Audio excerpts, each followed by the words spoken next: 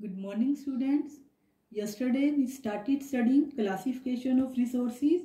We studied two bases of classification that is on the basis of origin then on the basis of exhaustibility and today we are going to study the classification of resources on the basis of ownership that is they are divided into four categories individual resources community resources national resources and international resources.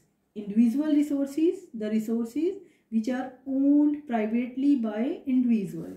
For example in the village farmers own land they have houses etc in villages there are people with land ownership etc in urban areas, people have houses, plots, other property, etc.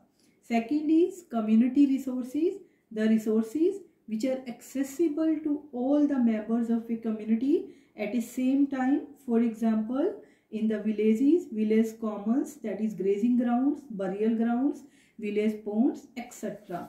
In urban area, public parks, picnic spot, playground, etc are the resources which are accessible to all members of society. Third is national resources. Technically, everything which is lies in the boundaries of a country belongs to nation. And country has a legal right to acquire even private property for public welfare. For example, if government undertake construction of roads, canals, railways, etc., then government can acquire private property. So Urban Development Authority has been empowered by government to acquire land. So all mineral resources, forest, wildlife which are lying within a country belongs to a nation.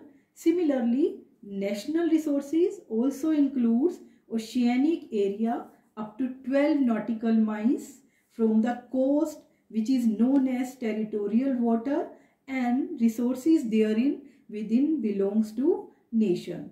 This 12 nautical mile is roughly 22.2 sorry it is roughly 19.2 kilometers. For example, India has a right to mine minerals up to that area.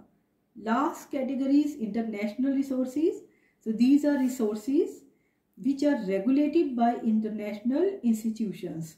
For example, oceanic resources beyond 200 kilometers of exclusive economic zone belongs to open ocean. No individual country can utilize these resources. They can utilize only after the permission of international organization. For example, in the bed of Indian Ocean, India has been granted right to mine manganese nodule by the international authorities. Thank you.